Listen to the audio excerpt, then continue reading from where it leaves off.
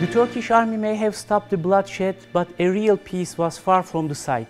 In 1975, Turkish Cypriots declared a federal government, and only eight years later, they would declare their independence.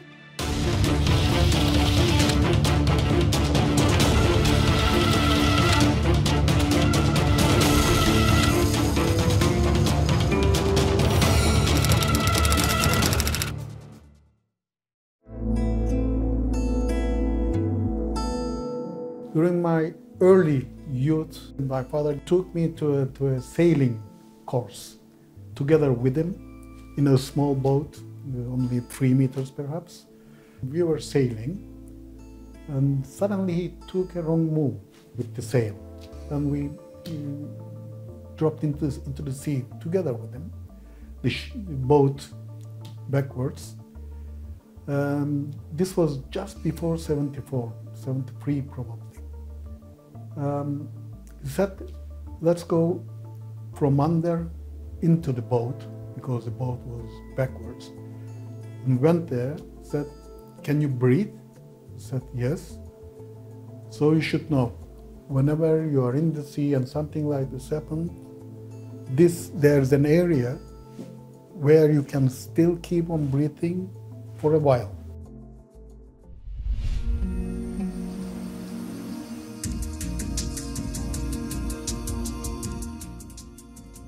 Turkey's intervention brought peace to the island. Disagreements between the two communities were still there, but it was time to talk. Discuss certain problems. Let us get on with a discussion of those problems. The amicable relationship between acting Greek Cypriot leader Glafkos Klerides and Turkish Cypriot leader Rauf Denktash enabled them to reach a mutual understanding. However, the positive momentum subsided in the following weeks my position as to the solution of the problem of Cyprus is that it has to be based on the application of the Charter and the resolutions of the United Nations. The deposed President Makarios was preparing to come back. Makarios' return in December 1974 cast a shadow over the atmosphere of dialogue on the island. I have read Makarios's uh, speech at the General Assembly of the United Nations, and my view is that he has once again slammed the door to a negotiated settlement.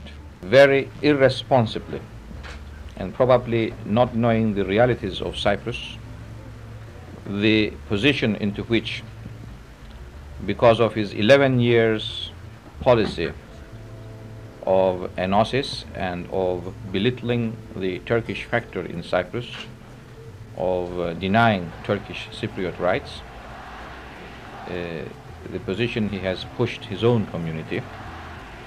He has once again referred to the Turkish Cypriot as a small minority in the island.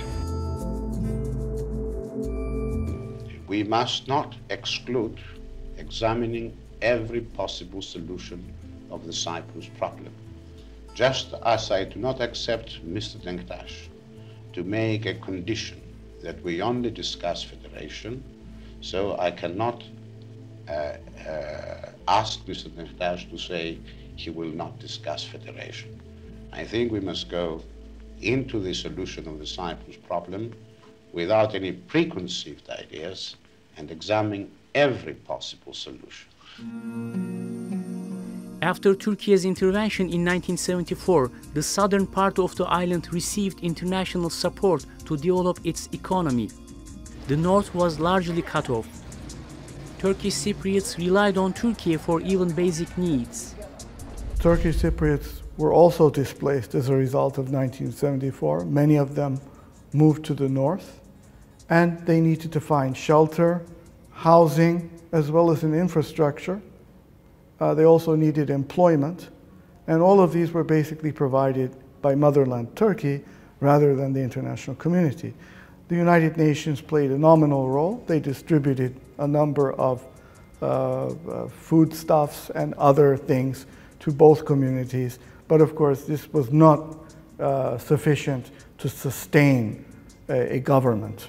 And, and so the Turkish Cypriots were basically on their own, virtually embargoed since 1974, and to a large extent, that situation persists. Turkish Cypriots were determined to reach a federal solution. They were already managing their own affairs. And on February 13, 1975, the Turkish Federated State of Cyprus was established with Rauf Denktaş as president. Geçerli sayılan oylardan 37.502'si evet. Oylaymadıklarını da ilan ederim. In August the same year, the two sides agreed on a political framework for a population exchange following UN-sponsored talks in Vienna. Thousands left their homes on both sides to start a new life in their separate regions. Of course, this was very traumatic, not for, for me, but for all Cyprus uh, population, both Greek and Turkish population. It was a period of war, of losing beloved uh, persons of losing their houses, both of them. And uh, the worst for me, it was the, the, new border and the exchange of population. I grew up uh, in North Cyprus, in Nicosia, but in the house of a Greek uh, Cypriot, because we left our house in South and uh, we were settled in a Greek Cypriot uh, house uh, and I grew up uh, on a bed of another person uh, with the furniture of another family, with the pictures and everything. And we left all the same things in South.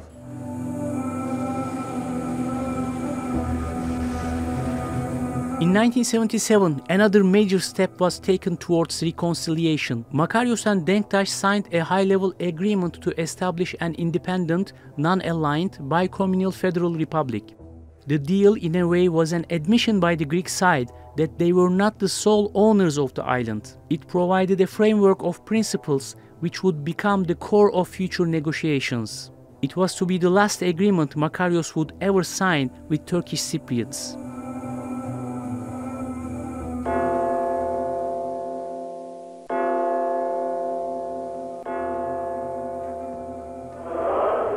From the 20th of July until 1977, it was still Makarios that was the leader of the Greek Cypriots. He died in 1977.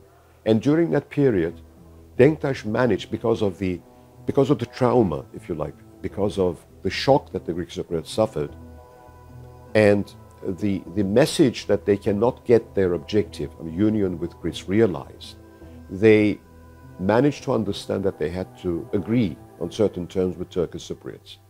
That made it possible to reach the Population Exchange Agreement of 1975 and the Bizonality Agreement in 1977, which was realized with Makarios. A second high-level agreement would be reached with the new Greek Cypriot leader Spyros Kyprianou in 1979. The talks in the following years focused on the political infrastructure of the new federal republic, but the efforts were inconclusive. When Makarios died, we had Spyros Kyprianou, the Greek Cypriot leader, who was a fanatic supporter of Enosis. So with his election as president of the Greek Cypriots, the Greek Cypriot policy changed from 1977 onwards.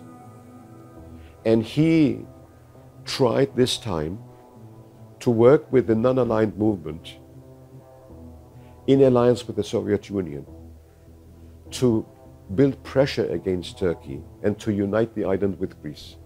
And in 1983, he managed in, Del in Delhi, in, in, in India, to secure a decision from the non-aligned movement that Turkey's army should pull out of Cyprus, that uh, everybody should return to their homes, and I mean, he was they were simply asking for the return to pre-1974 conditions on the island. That is the point when Denktash said, uh, was saying enough is enough.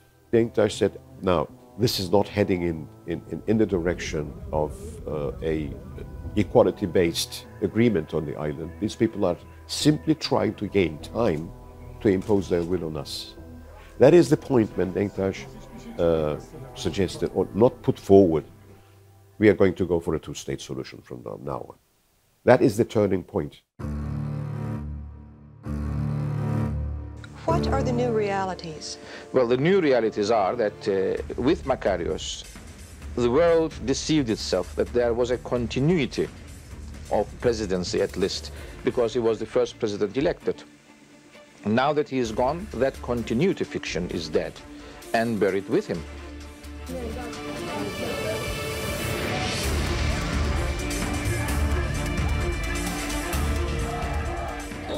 totally futile to have any meeting or talks on the Cyprus problem with Mr. Denktash because, first of all, uh, he does not represent the vast majority of the Turkish Cypriots. Uh, he is himself committed to partition and solution. UN-sponsored talks continued in 1980 to no avail. Frustrated by never-ending negotiations, Turkish Cypriots took a bold move. On November 15, 1983, they declared their independence. Kuzey Kıbrıs Türk Cumhuriyeti'nin bağımsız bir devlet olarak kurulduğunu dünya ve tarih önünde ilan ediyoruz.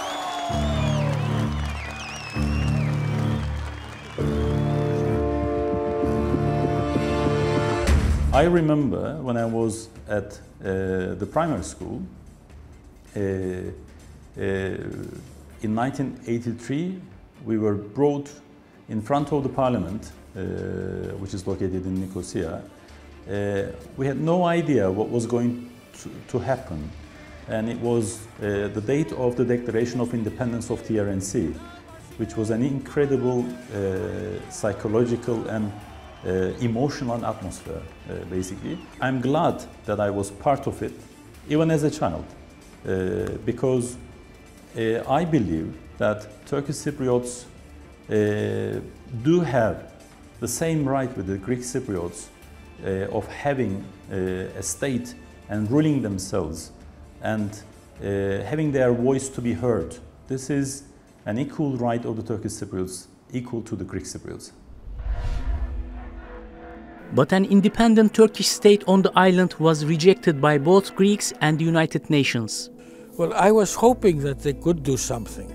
I would have preferred it's not good for me to say it, but uh, I would have preferred that uh, the, the two sides discuss by themselves. The, because the United Nations were influenced by the Americans, they were influenced by the Brits, by the Soviets at the time, by the Russians today. And uh, what they cared is, was to, for them to find a solution that would cover their term in office. And what would happen afterwards, oh, they would not care. What we care about, I mean, the, uh, Greece, Turkey, uh, and the two communities, is to find a permanent solution that would allow the two countries to live without paying so much money for uh, armaments, which destroys the people of both countries. In the backdrop of diplomatic troubles, Cyprus was still reeling from decades-long fighting. In addition to mass death, injury and displacement, hundreds of people from both sides were unaccounted for.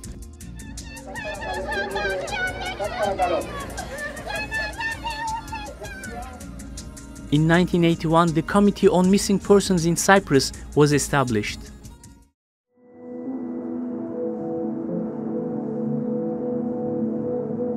The mission of the committee is to reach the remains of the missing persons and hand them to their loved ones, irrespective of nationality and religion. The committee was set up in 1981 and it took the leaders many years to ascertain the missing persons list.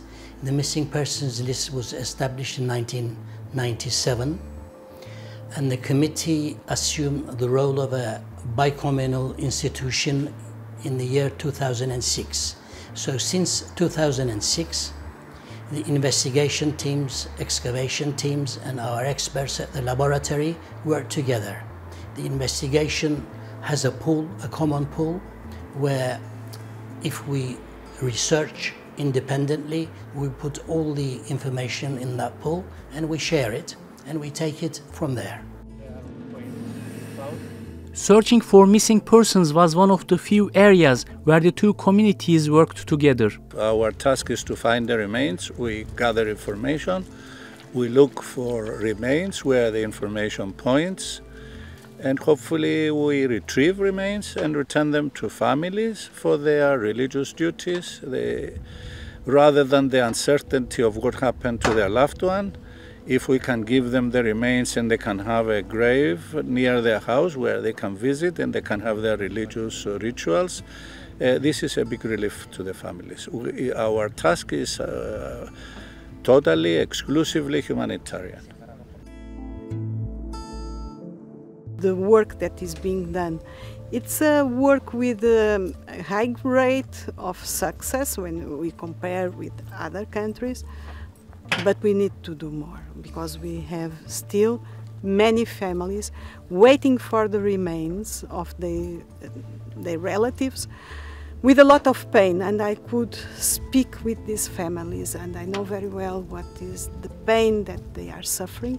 And we need to join uh, will to go further and to go quicker in order to respond to these people.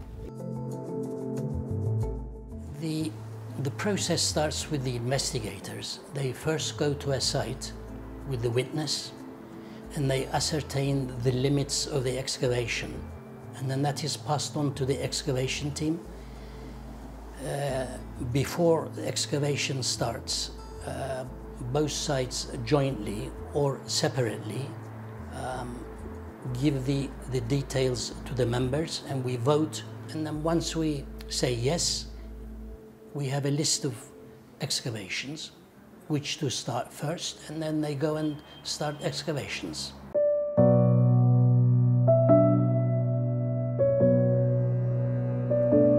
...15 kişilik bir kişi sayısı verdiler bize. İşte Güney Kıbrıs'ta Kuzey Kıbrıs arasında bir laboratuvara gidip orada işte şehitimizi görebileceğimizi annem, ben, kız kardeşim, eşlerimiz, işte hayatta olan amcam, halam falan hep birlikte işte aile büyükleriyle birlikte gittik. Orada bize işte anlattılar nasıl e, toplu mezardan çıkarıldığını. E, bu arada babamla iki arkadaşı e, çok şanslı bir şekilde tam vücut olarak çıktılar. Bir kayanın altında kalmışlardı. Orada sordular bize görmek ister misiniz? Hayatta bir şans verilir. Ya göreceksin ya hiç görmeyeceksin.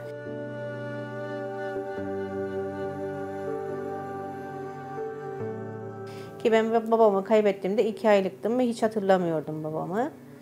Ve orada hepimiz e, görmek istedik zaten.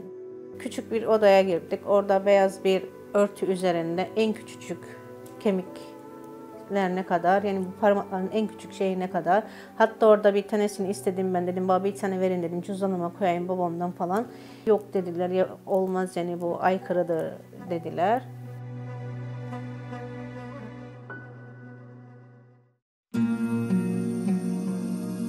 But in other areas, Turkish and Greek Cypriots had little cooperation. On and off peace talks were not bearing any fruit.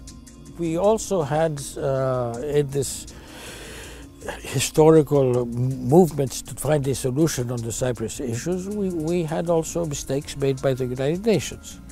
Uh, one example I remember when I was in uh, New York, uh, Perez de Cuellar, the Secretary General, he wanted to convene the uh, uh, meeting of the five. I mean, that was Greece, Turkey, UK, and the two communities at a moment that it was not ripe. And they were lying. They were not telling us the truth. They were telling us, both to, to, the, to, to Turkey and to Greece, that uh, the differences are very small and if we have a meeting of the five, uh, we might reach uh, conclusions. My point of view was that uh, the Secretary General of the United Nations wanted uh, to show something, that something is moving, something uh, which would be to also uh, to his personal interest and, and, prestige. So what did I do? I uh, decided to contact my Turkish colleague in New York and to discuss the points to see whether we were close or not. And we met, we had a nice lunch with our notes, and we found out that uh, we were not close at all. And that if we had a meeting of the five, it would be a disaster which might create a crisis afterwards. So we both uh, informed our capitals that uh, forget it, don't do anything, and uh, this this this way we we saved uh, the situation from becoming worse. Relations between Turkey and Greece were not always smooth sailing. The two guarantors of peace in Cyprus faced off in 1987 over Greece's oil drilling activities in the Aegean Sea. Ankara sent a survey ship to the area with an escort of Turkish warships. The crisis quickly escalated with both sides threatening military action. After the crisis of uh, 87, uh, I was there. I was there, and uh, we almost went to, to war. That was the most uh, dangerous moment because we were waiting. I remember that the Turkish fleet was in the Black Sea uh, making an exercise, and uh, the generals had taken over in uh, Ankara because Özal was in Houston, having his open heart operation and Athens was asking me to tell them when the fleet would pass from the Bosporus, because my house was, in, my residence was on the Bosporus. So when the fleet started coming down from the Bosporus, I told Athens, they're coming. And at that time, Özal reached London. He told the generals to shut up, and uh, the whole crisis was, uh, was diffused, and we went through a period of very good relations. The 1990s brought more isolation. In the wake of the Cold War, the UN Security Council shifted its approach to the Cyprus issue from its traditional mediation role to a more assertive one. In 1992, the UN Secretary General Boutros Ghali introduced a set of ideas for an overall framework agreement. Turkish and Greek Cypriot leaders gathered in New York for talks on the constitutional aspects of the federation security and guarantee, territorial adjustments, displaced persons, economic development and safeguards, and transitional agreements. The dialogue unearthed deep-seated mistrust between the two parties once again, culminating in another failure. Rauf Denktash blamed the UN Secretary General for overstepping his mission and trying to impose an unfair settlement. For the first time in the history of Cyprus talks, a UN Secretary General sided with one party and accused the Turkish leader of being intractable.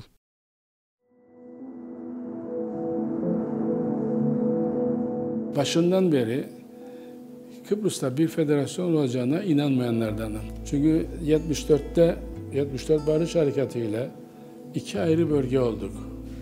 Bu iki ayrı bölgenin e, artık bir arada yaşamasının mümkün olmadığına başından beri inanan bir kişiyim. Çünkü o günleri de yaşadım. Yani savaş günlerini de yaşadım. Savaşın gerçek yüzünü de gördüm. Rumların galleşliğini de gördüm, vahşiliğini de gördüm. Dolayısıyla iki halkın bir arada olamayacağına başından beri inanan kişiyim ben. Ama gün geldi Cumhurbaşkanı olduk. E, müzakerelerde gündem federasyon, Türkiye'nin gündeminde federasyon, şeyin e, Birleşmiş Milletler'in gündeminde federasyon. Federasyon görüşürken de ben hep şuna gayrettim. Bu Rumların uzlaşmazlığı bu masada görülecek. Rumların uzlaşmazlığını eğer dünyaya gösterebilirsek, dünya bize bakışını, bakış açısını değiştirecek diye bir düşünce içerisinde oldum hep. Ha gün geldi federasyonu görüştüm.